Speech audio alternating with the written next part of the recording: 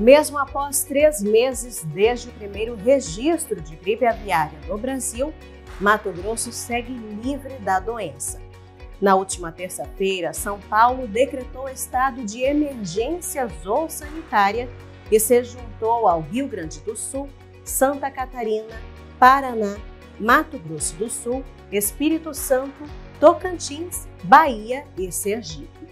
Ao todo, são nove estados e 79 registros de gripe aviária em aves silvestres e dois em duas criações de subsistência. Por isso, é tão importante reforçar a biosseguridade da sua granja. Junte-se ao INDEA e ao Sistema Famato para colaborar com a proteção da avicultura nacional. Todas as semanas nós estamos aqui levando informação para que produtores rurais e sociedade esclareçam as suas dúvidas sobre o assunto.